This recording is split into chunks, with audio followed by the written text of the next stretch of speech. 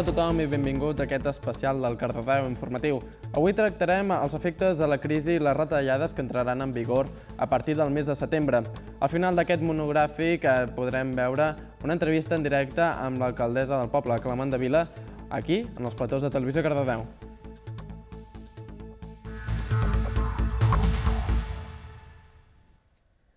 Per començar aquest monogràfic tractarem primerament la situació econòmica al poble. Cardedeu és un dels municipis més endeutats de Catalunya, concretament el 98% del pressupost. El 40% d'aquest pressupost està destinat als sous dels treballadors. Veiem més a fons la situació econòmica.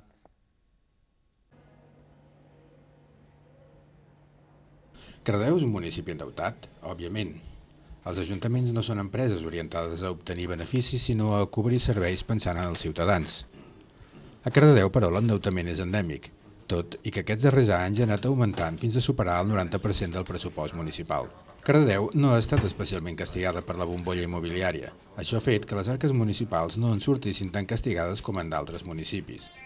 Preocupa, però, que els ajuntaments catalans, i Cardedeu entre ells, reben de l'Estat solament 265 euros per habitant en contraposició als més de 600 que reben municipis d'altres comunitats. Jo el que vull és polítiques d'incentivar l'economia. Em preocupa saber que de la PIA, que és el que rebem de l'Estat, al País Basc reben 655 euros per habitant. Catalunya en rebem 255, si no recordo malament. Des de l'Ajuntament ens comenten que hi ha accions pendents per minvar despeses i que des del govern central el que cal que enviïn són eines per fomentar polítiques d'incentivació econòmica, a part que tampoc agrada aquesta malfiança que mostra l'Estat sobre la gestió econòmica dels municipis. Sembla que els municipis siguem els dolents de la pel·lícula quan del deute públic global de l'Estat, un 3,5% és dels municipis. La resta és de les altres administracions públiques. I això com ens afecta les arques municipals? Doncs totes les despeses que farem d'aquí a final d'any es, es veuran incrementades amb un tant per cent d'IVA. Vol dir que aquest any hem fet tantes vegades el pressupost i l'hem refet tantes vegades que valdria la pena ja tenir-ho tot d'una vegada. Recentment, el govern de l'estat espanyol ha fixat un seguit de canvis, lleis i normatives que afectaran profundament el teixit comercial del país. Els trets distintius d'aquesta reforma són la supressió de les restriccions temporals en fer rebaixes, l'increment de l'IVA i la llibertat d'horaris.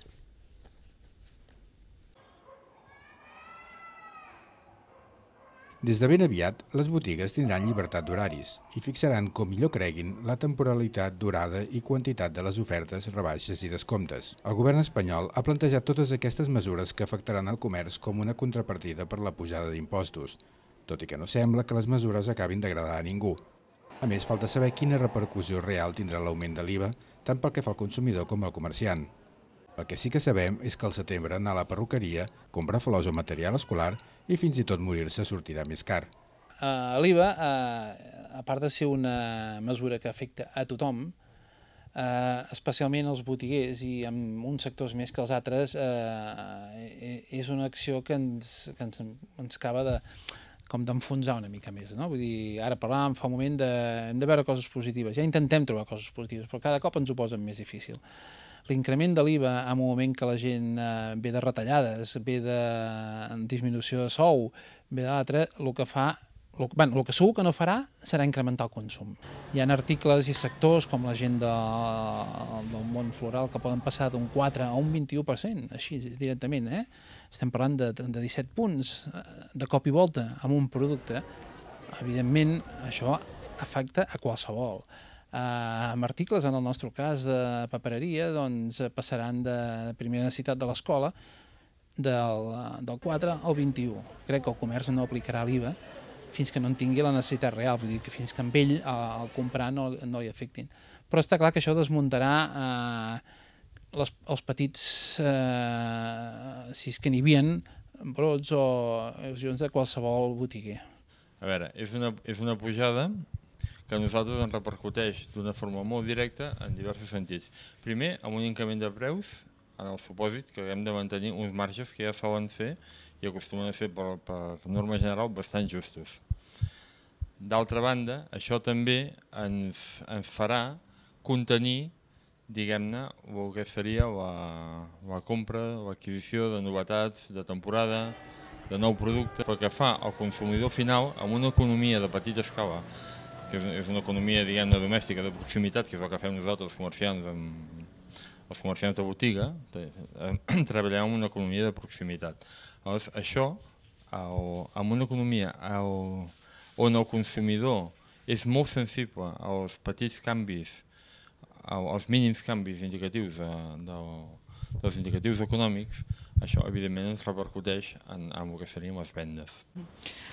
Oh, doncs la, a nivell de comerç, eh, no tant turisme sinó comerç, la pujada de l'IVA òbviament afectarà, eh, afectarà el consum. Ja vam patir una pujada fa uns mesos i és cert que durant els primers mesos el consum es manté, eh, els mesos previs a l'entrada en vigor també s'incrementa una miqueta i després és cert que hi ha una davallada, però això ha passat ara i va passar fa any i mig. Eh? Llavors mm, entenem que certament no és una mesura popular, però afortunadament contra aquests béns que s'han hagut d'incrementar en el percentatge d'IVA, doncs els de consum bàsic, com són els aliments del pa, llet, eh, el que mengem cada dia, el que realment es necessita, doncs sí que ho hem, hem aconseguit mantenir-ho. Eh, òbviament no és una mesura que agradi a tothom, però també s'ha de dir recordar que és una mesura transitòria. Eh, ja s'ha repetit que en quan la situació es pugui estabilitzar, tothom està dient de cara a 2014, amb pràctica seguretat 2015, que la, ja comencem a repuntar una miqueta, doncs igual que hi ha altres eh, disposicions que han estat transitòries i absolutament excepcionals, com la pujada de l'IRPF, aquesta també ho serà. També s'ha criticat la falta de diàleg en prendre decisions d'aquest tipus sense escoltar les veus dels col·lectius afectats. Jo crec que no, bueno, no sé veure-li una cap avantatge en aquest aspecte, eh? a part d'una recaudació, però és que no és l'IVA. És a la majoria dels autònoms de passar de l'IRPF d'un 15 a un 21 que tot va sumant, però no és aquest IVA, és, uh, no és l'IVA del producte que venem, és l'IVA del producte que consumim, la llum, l'aigua, és que l'IVA és això, afecta a, tota, a totes les accions que fem com a comerç i com a ciutadans, aquí ens, ja no cal que parlem i que ens solidaritzem amb la gent de cultura, que evidentment nosaltres eh, creiem que eh, en el, en el cas de la cultura és un error, perquè la cultura no és un producte de consum, sinó que és un producte de formació, és un producte de... La gent s'enriqueix anant a veure el teatre, anant a veure el cinema. Aleshores, aquí no té cap mena de sentit que això s'apugi, creiem. L'opinió general és que la nostra, el, nostre, el nostre cavall de batalla és la qualitat de l'oferta i la proximitat, i el tracte de proximitat. Estem treballant en una campanya per promocionar el comerç de proximitat, per intentar impulsar-lo, això és el que podem fer des de l'Ajuntament, vendre les, les bondats de comprar Cardedeu i sobretot doncs, tenir molt clar que la repercussió és immediata.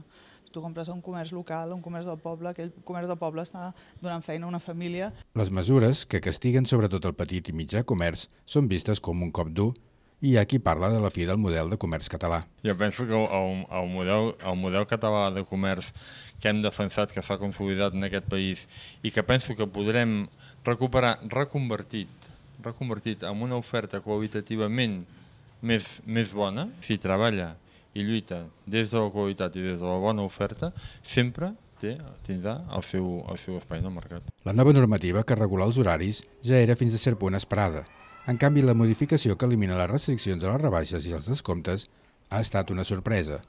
A partir d'ara, els botiguers podran decidir quan i de quina manera en fan.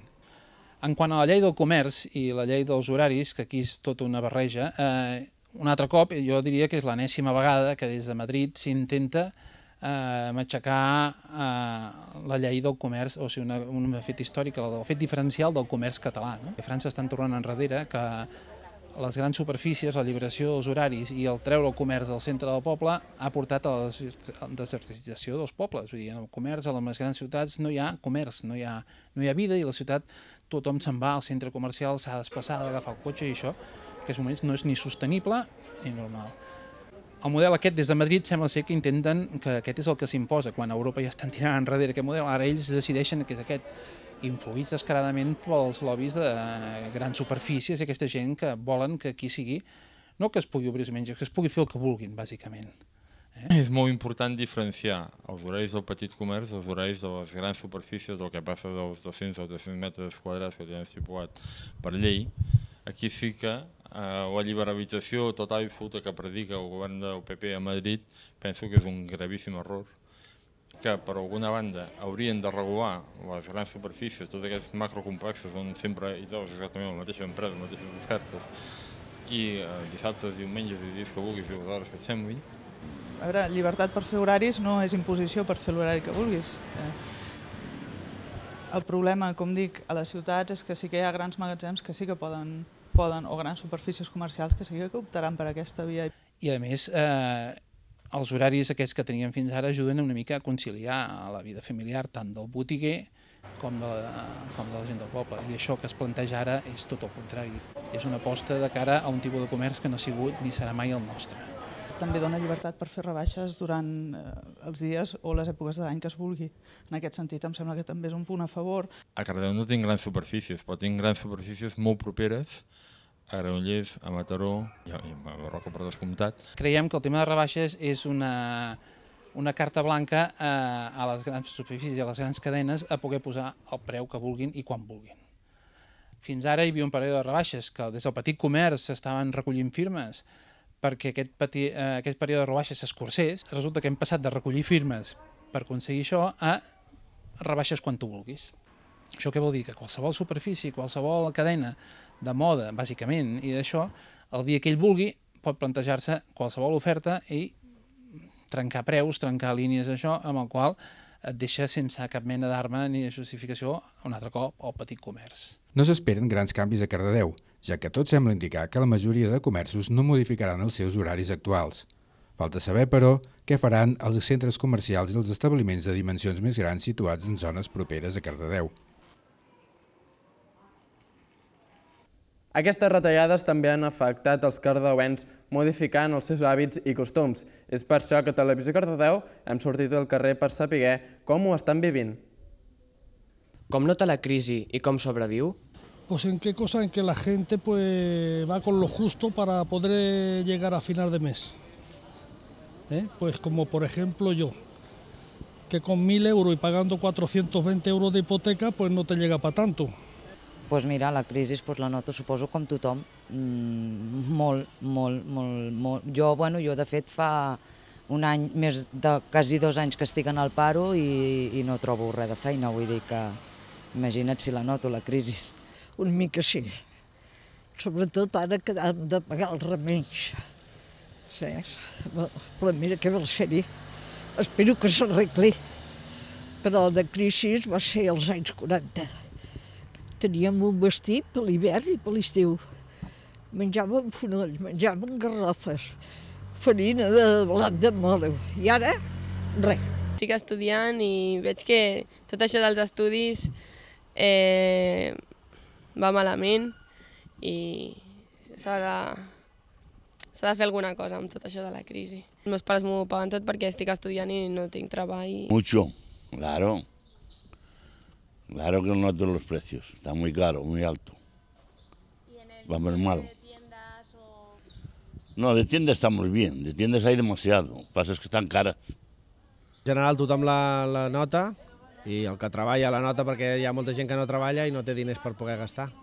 Ja les botigues comencen a, a romandre bastant amb eh, moltes penes i treballs tirant endavant i com tothom, amb penes i treballs anar, anar intentant sobreviure. Jo he notat bastant, ja aquest any ja m'han ja rebaixat 40 euros per mensuals, així que tu mateixa, de la, això la crisi que portem. A base d'estalviar. És a base d'estalviar i saber comptar. Et sobren els impostos, perquè t'estan aixafant, però és a base d'estalviar.